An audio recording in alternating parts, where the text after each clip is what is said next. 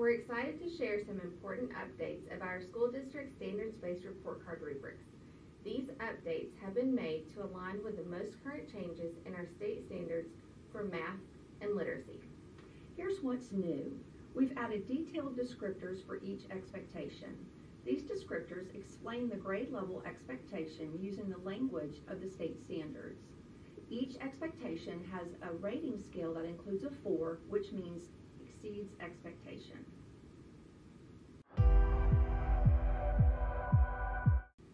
You may have heard that Georgia implemented new mathematics standards this year. Because of the changes that have been made in our state standards, each grade level report card rubric needed to be redeveloped. When you receive your child's report card, you will notice the new math report card rubrics are written in a progression of learning.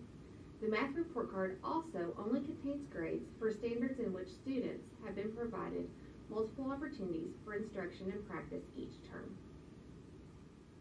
In first grade, your student has been learning to count, read, write, and represent numbers within 120, represent and explain two-digit numbers using tens and ones, compare and order whole numbers up to 100, solve addition and subtraction problems within 20, and fluently add and subtract within 10.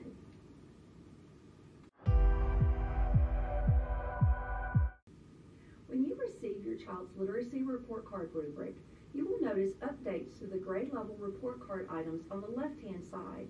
Your child's report card will only contain grades for standards in which they have been provided multiple opportunities for instruction and practice each term.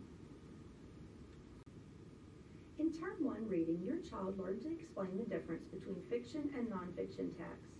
In fiction texts, they learned how to describe characters, setting, and major events using key and how illustrations and details in a story add to the description of these characters, setting, and events. In nonfiction text, your child identified the main topic, retold key details, and distinguished between information provided by the illustrations in a text and information provided by the words in a text. As a writer, your first grader extended their understanding of narrative writing by recounting two or more sequence events, including details and temporal words, and providing a sense of closure.